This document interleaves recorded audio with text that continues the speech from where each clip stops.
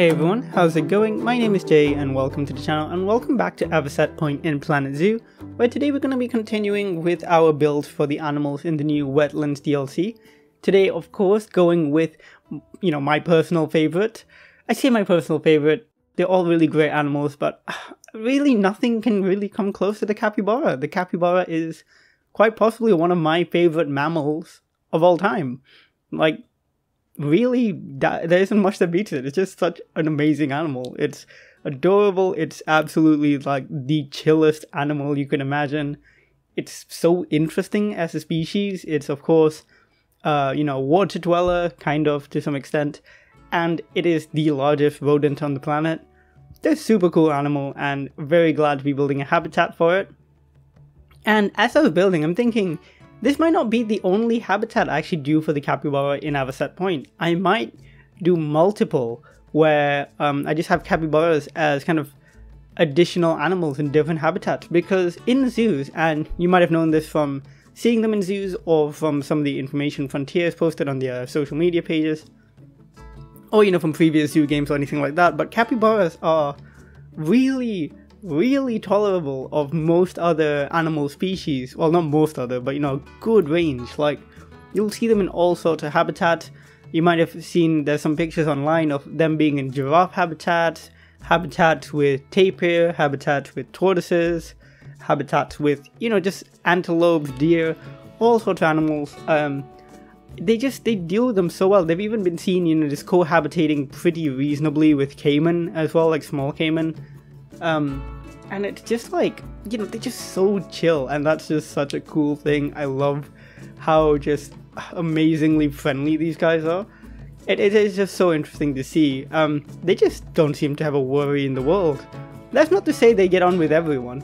In their natural habitat in South America, they're actually, you know, very common prey animal for a lot of different species, including um, larger crocodilians, anacondas. Anacondas uh, actually predate on ca- uh, capybara like preferentially because they are a really good size uh, meal for them. Um, you have jaguars, uh, you know, large birds of prey even. Like cap- capybaras, unfortunately, due to their quite placid nature, make uh, a pretty reasonable snack for a lot of animals in the Amazon, or you know, just across the areas in which they live in. They live in most of South America, actually, like a really, really big chunk of South America. Um, but yeah, there's just super cool animals. And um, something I found out recently, actually, is that they used to there used to be a lot more species of capybara, and there used to be more even up to North America, which was really uh, interesting, like in the Pleistocene period. So that's pretty cool, I think gosh, I really hope I get to one day like hang out with a capybara. That's something I really, really want to do. Uh, if I can get a zoo experience where I can hang out with a capybara, my like life will be made. That would be so cool. so maybe one day, you know. And if I do, I'll definitely vlog it and like put it on the channel because that'll be super fun. But yeah, let's talk a little bit about the habitat itself. Pretty chill habitat today. I had a few goes at it, wasn't feeling many of the options, and then I tried um, what do we see on screen here, which is a bit more of a simple habitat. Uh, there's a little bit of a water feature there, a pond with a little artificial waterfall there. Uh, some some faux rocks, some real rocks mixed in, and a reasonable amount of space to swim, and also a decent amount of land space. I wanted to uh, give them a mixed habitat as well. I didn't want them to just be alone, so I put in some Galapagos tortoises.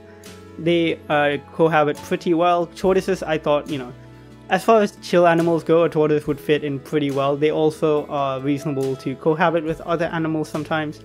Um, and the Galapagos tortoise and the capybara just look like they fit really, really well together. So I was, I was very happy to include them as well. Uh, I in initially thought maybe I'd include the Baird's tapir, um, but I, when I put them in, I thought it didn't look super like.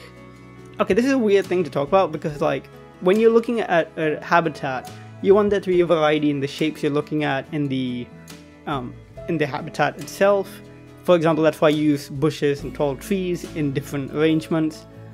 It's a bit hard to explain, but that's kind of what I felt was a bit missing when I used the Baird's, uh, Baird's tapir, in the sense that uh, they both are of a similar size, the Baird's tapir being a bit bigger, and of a similar body plan, so it felt a bit kind of homogeneous.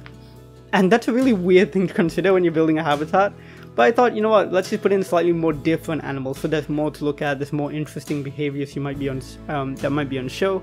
So I put in the tortoises instead, and I think it worked out pretty well. They look, they look pretty uh, nice. I like how the habitat looks.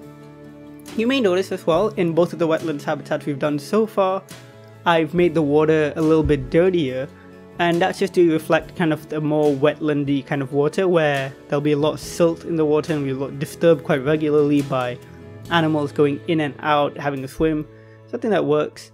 Uh, just putting in a shelter here a simple shelter very much similar to what we did before but I'll put in some walls to make it a bit more secure. Some simple bamboo fencing along the back as well which I think looks pretty uh, pretty nice just quite straightforward. And we'll use some actual bamboo as well in a bit to really um, give some height to the habitat in the back and kind of create a bit more of a natural boundary where you wouldn't just be looking over into like whatever's behind this habitat. It'll give you a bit more of a solid backdrop so that you wouldn't, you know, you it frames the habitat pretty nicely. I think essentially. Loving these new um, hot water tap enrichment. I think it looks super cute when the capybaras are sitting underneath it, and you'll see it um, in the cinematics today as well. They look so, so, so cute when they're sitting underneath it. Some little water fountains as well. Lots of little water features for this habitat. Um, but yeah, the wetland trail is coming along pretty nicely. I think for the next episode we might do um, the the cranes. I think the cranes look pretty cool. If I'm not mistaken, um, one of my local zoos actually has has a pair of these. Uh, the red crown. Oh, it might not be the red crown crane. It might be a different crane actually. No, it's a different crane. It's the I can't remember what they're called, but it's the cranes with the um, with the you know the kind of like a crown on their head. Not like the red crown crane, but um, more like a poofy crown that kind of sticks out in like a ball almost. Can't remember what they're called, but they, they're really cool as well. Putting in some boards into the into the um, pond so they have something to sit on. And you saw I just put in some planks for where the keeper would come in, and just some planks lying around do indicate that maybe the uh, you know this little bits that need repair and stuff like that. You know, just bring it brings a bit more life into the habitat, which I, am quite glad for. But yeah, that, that's pretty much it for building this habitat. Now it's just the foliage time. Uh, I'll be hopefully putting up more episodes in the coming week or so. Um, yeah, it's, it's been really nice now in the UK. It's, it's all super sunny at the moment and I'm just trying to spend more time outside because it's beautiful and it's like it's the time of year where it's so nice outside that I feel kind of guilty about staying indoors. So trying to get out more. Definitely, if it's nice where you are, it's always nice to just be outside for a bit and get a bit of sun. So that's how things are in the real world at the moment. So looking forward to that. Uh, as far as the as far as the other videos on the channel go, I am hopefully getting back into some Jurassic World Evolution 2 as well soon uh, very soon, um, Prehistoric Kingdom is coming out, and I'm very, very excited for that. We're going to be playing it on the channel for sure because I did skip the beta release for Prehistoric Kingdom. Uh, I did have access to it, but I just thought, you know, like, I, I kind of fell into playing these other games quite a bit at the time. Didn't have time for PK, unfortunately, and then I thought, it's a bit late now, let's just wait for the full uh, early access release, and then we can play. And while I'm playing that, you at home, you'll have access to the game too. So if you want to like build along with me, you'll have that opportunity as well. So do look forward to that. That'll be quite fun, I think. Using some of the cork oak trees here, I still really like how they look.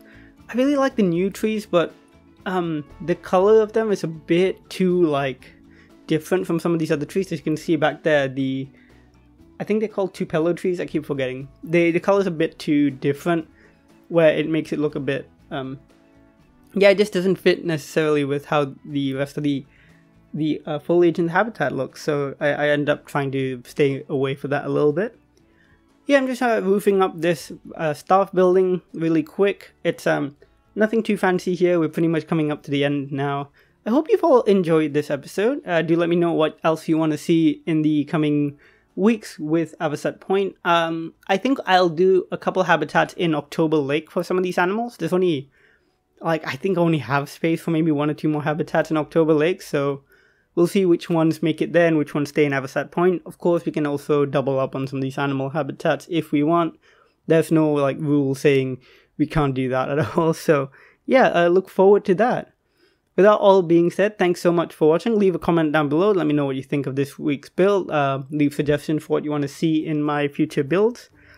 Uh, do have a lovely week.